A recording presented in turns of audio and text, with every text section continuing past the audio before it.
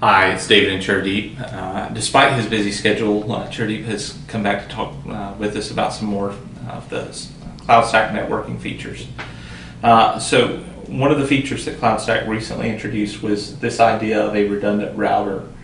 Um, and CloudStack has, has long talked about uh, high availability, and I, I've always said uh, when we were talking publicly that that's not high availability. That's not true high availability. It's not. Uh, it's not things like pacemaker or Corosync that are sitting in the background ensuring there's something always there. It's we'll we'll detect it and we'll make that mean time to recovery really short.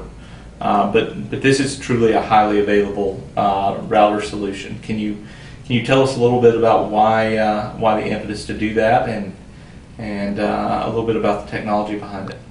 Sure. When you use the advanced virtual uh, networking mode, uh, the, the router sits between, it's, it's, it's, an edge router, so it sits between you and the internet. Mm-hmm. And so if that goes down, you're, you're essentially lost access to your uh, guest instances. Yeah. So all of your VMs yeah, effectively. They're still running, but then you, you can't, can't talk to them and they can't talk to the internet. So it's a single point of failure, right? It is a single point of failure. Yeah. I mean, typically what we CloudStack will do is that if the router dies, for example, the hypervisor tells us that it's dead, it will restart it. Sure. But then that gives you a long, fairly long window of downtime in the order of minutes. Sure. And so uh, to make that in more in terms of seconds, we, we introduced the redundant router feature.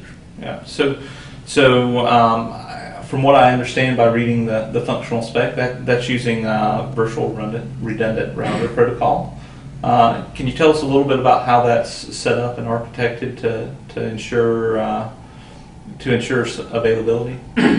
Sure. I mean, VRRP is a very standard protocol. It's been around mm-hmm. on the internet for uh, decades, if, if, not longer. Um, so we just there's an open source package called VRRP, which mm-hmm. which we uh, take advantage of. And on top of that, we take advantage of um, uh, keepalived mm-hmm. uh, to do, do, the actual switchover. Uh, so VRP is a standard protocol where each there's two when we start up two routers, mm-hmm. and one router is the passive and one is the active, and these two routers keep pinging each other with, with the VRP protocol. And when the, the slave or the, or the backup detects that the master router is, is dead, the, the slave takes over the IP addresses, and mm-hmm. then the slave also has a current copy of firewall rules, the, the VPNs, and everything, the whole state of the router, and so is able to come up very quickly. So, so uh, you of course are, are ensuring that, that those two virtual machines are allocated to, to different hosts, right?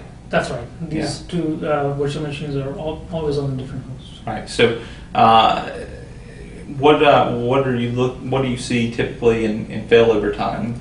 Um, the failure time is actually configurable. Mm-hmm. Um, it's not easily configurable, but it, it is configurable. But the standard uh, timeout is five seconds. Five seconds. So you could uh, you could of course make that larger or smaller. Correct. Yes. Um, and uh, what um, what extra does that does that consume? Ex- I assume that it consumes extra resources. Certainly allocated. It does. You, you have a virtual router which is essentially sitting around doing nothing. Right, but if you if you need that uptime, that's really yes, cheap insurance. Exactly. Yeah. Very good. Anything else we need to know about uh, about CloudStack's redundant router feature? Um, I think that's it. Oh, outstanding. Thanks for making the time to talk to us.